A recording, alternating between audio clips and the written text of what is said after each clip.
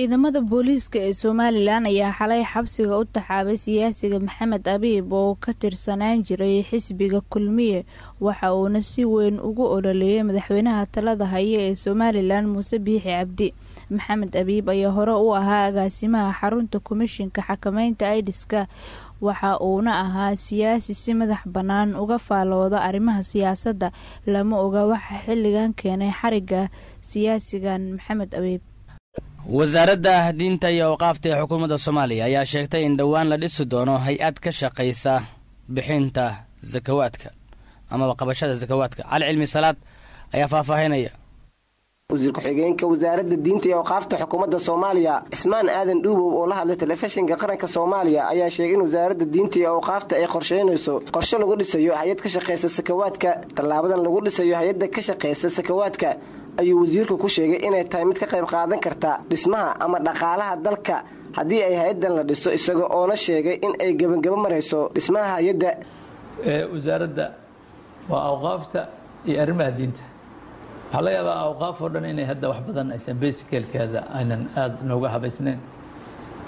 Zakawaadka oo loo baahnaa laftigeeda in hay'ad zakawaad diiwaan zakawaad in loo helo baaxaddaasi wax badanay yareen lahayd. Waxay noqon lahayd meel baaxaddeeda kule waana shuruucdii waa soo hagaajinay oo haddaba wax miiska yaallo waa laga yaabaa sida hadda aa nooga dhex arkaysa inaan caafimaadka dhinaceeda aan diiniyan u halgamayno waxa ugu wadno inaa haddana aragtay inaan waddanka baaxaddiisa taagan dhinaca dhaqaalaha laftigeeda inaan wax ka badan ka kaabno. Maxaa yeele dhaqaalaha wuxuu ku dhex jiraa meesha hadda aan tilmaamayno maxaa yeele haddii barnaamijka sakawaadka uu hagaago oo beeskiisii guddiyadiisii ay hagaagaan waxay noqonaysaa mid kulleyba mataqaan sanduuq dhaqaale oo gaar ah oo dalkii horumarkiisa qayb looga noqdo oo dadka daynta yar dadka dhibaatada gaarta dadka duufaanaha ku dhaca dadka allah mataqaan abaaraha waxaas dhan meel hawsheedii laga wado hadalka wasiir ku-xigeenka wasaaradda diinta iyo awqaafta xukuumadda soomaaliya ayaa imaanaya xilli dalka ay ka jiraan duruufo kala duwan kuwaas oo ay wajahayaan bulshada soomaaliyeed maamulka hirshabeelle ayaa waxa uu qorsheynayaa in uu xiro waddooyinka soo gala deegaanada maamulkaasi si looga hortago caabuqa korona bashiir cali daahir ayaa warkan jowhar inooga soo diray.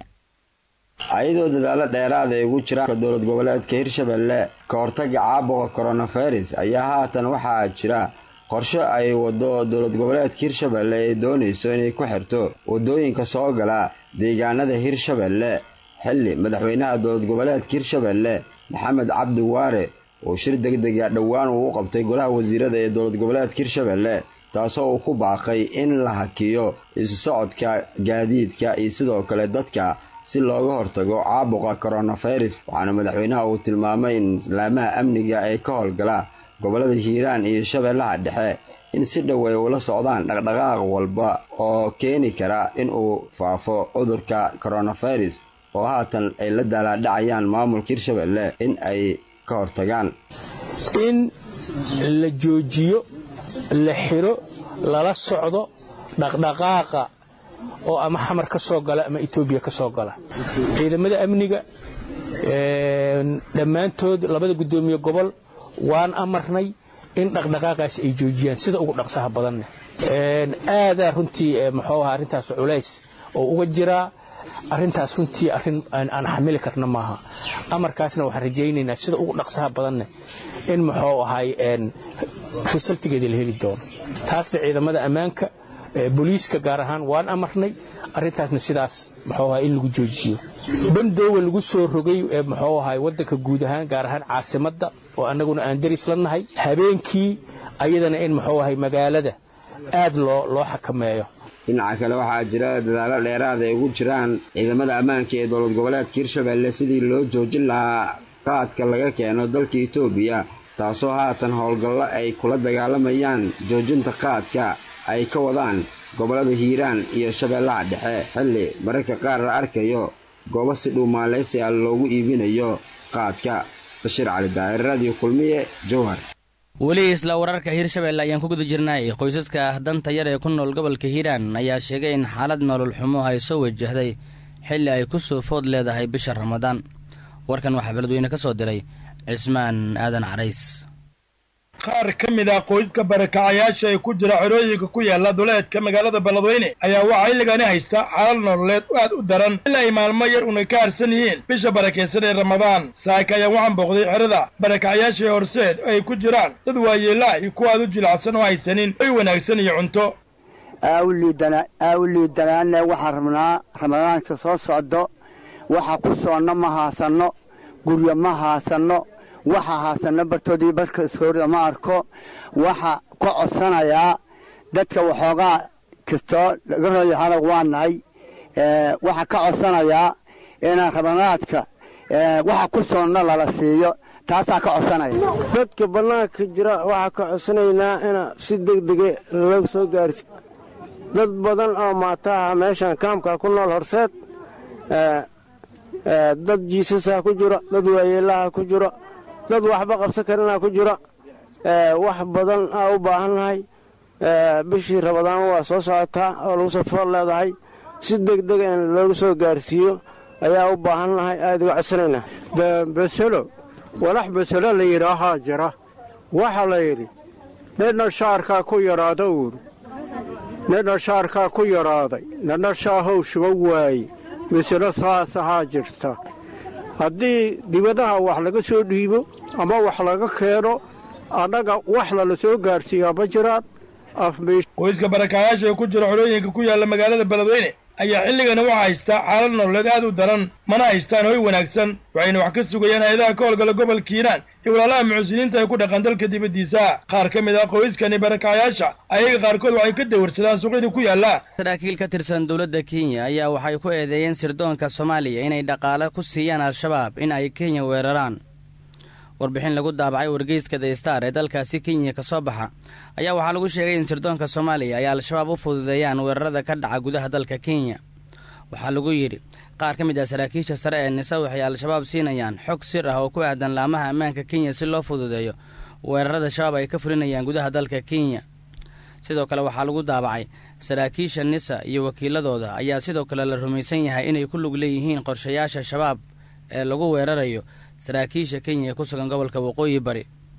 Waxay ku eedeynaysaa in qaar ka mid ah saraakiisha nisa ee sirdoonka soomaaliya ay u tababareen hay'adaha amniga kenya ay shirqool la samaynayaan al-shabaab si ay u weeraraan askarta kenya ee ka hoos shaqeeyeysa ama ka hoos shaqeeya amisom. Kenya ayaa muddooyinkii u dambeeyey warbaahintooda iyo sidoo kale saraakiisha dowladda dalkaasiba waxay siyaabo kala duwan u eedeynayeen mas'uuliyiinta soomaalida ah iyo hay'adaha. Ciidamo ka tirsan militariga soomaaliya iyo kuwa itoobiya ayaa gaaray deegaano ka tirsan gobolka galgaduud oo ay ku dagaalameen laba maleeshiya beeleed sharmaarke maxamed maxamuud ayaa warkan inoo soo diray ciidamada dowladda federaalk soomaaliya iyo kuwa dowladda itoobiya ayaa kormeer xaqiijina waxay ku tageen deegaanka ballecad furinta fooro dacdheer qorof miro cawleed iyo bacda wuxuuna kormeerka ka dambeeyey markii maamulka galmudug uu halkaasi u diray ciidamo iskugu jira booliis militari nabadsugid ciidankaasuu hogaaminayay taliyaha ciidanka nabadsugidda iyo sirdoonka qaranka qaybta galmudug mahdi cumar muumin oo ku guulaystay in la joojiyo dagaalbeeleed laba beelood dhowaan halkaasi ku dhex maray. Waxaa kadib furinta foora ka furmay wadahadal wasiiro ka tirsan maamulka galmudug iyo ismaamulka soomaalida etoobiya dhex maray. Wadahadalkaas oo ku soo dhammaaday isfaham iyo in la kala qaado ciidamada labada beelood iyo in laga wada shaqeeyo inuusan mar kale dagaal ku dhex marin labada beelood walaalaha deegaanadaasi. Kormeerka oo daba socday fulinta heshiiskaasi ayaa deegaanada la kormeeray waxay ahaayeen deegaanada inta badan ay ka soo duuleen maleeshiyaadka labada beelood waxaana deegaanadaasi la dhigay ciidamo isku dhafa oo loogu talagalay xaqiijinta ammaanka iyo inaysan dib dambe u soo noqon colaadii deegaanadaasi muddo badan ka taagnayd. Dadka deegaanka ballacad iyo furinta foora ayaa si weyn u soo dhoweeyey nabadaynta ay wadaan saraakiisha ka tirsan dowladda federaalk soomaaliya iyo madaxda ka socota dowladda ethoobiya ee ku aadan sidii nabadayn waarta loo dhexdhigi lahaa beelaha walalaha ee halkaasi wadadega madaxweynayaasha ruushka iyo mareykanka ayaa ku wada hadlay qadka telefoonka waxaana hogaamiyaashan ay isla soo qaadeen sida ay isaga kaashan karaan la dagaalanka corona. Siyaasad ahaan labada dal ayaa waxay yihiin kuwo aada uga kala duwan siyaasadda caalamka laakiin waxaa jirta xiriir aada u wanaagsan oo ka dhexeeya master putin iyo madaxweyne trump waxaana warkana waxaa lagu daabacay wakaalada wararka wadanka ruushka. Waxaana la sheegay in mas'uuliyiintan ay isku afgarteen in ay iskaashi sameeyaan. Sidii loo heli lahaa dawo lagula dagaalamo xanuunka covid nteen oo dunida dhibaato ba'an ku haya.